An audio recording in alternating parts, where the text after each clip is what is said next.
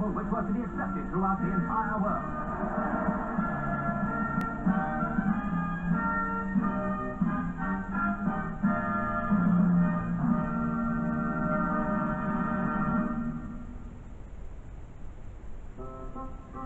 Sunday night on BBC One. At 6.30, the Antiques Roadshow unearths the treasures of Penard.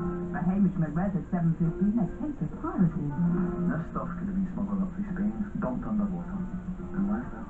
Ah, well, there's only one thing for it then. Then Susan Sarandon and Nick Nolte star in a true story of courage. All we can hope for is to slow the cascade of symptoms. Are you absolutely sure? You have nothing to blame yourself for. Lorenzo's Oil at 5 past 8. And FA Cup semi-final action at 10.30. Then Hollywood Angel profiles Sister Helen, whose life story inspired Susan Sarandon's Oscar-winning performance. That's Sunday night on BBC One.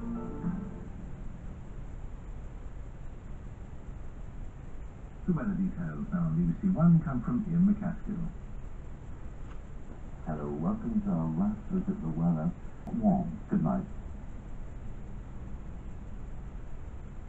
Well, just after 27 minutes to 3, and as you can see, we've put our clocks forward one hour because British summertime begins tonight.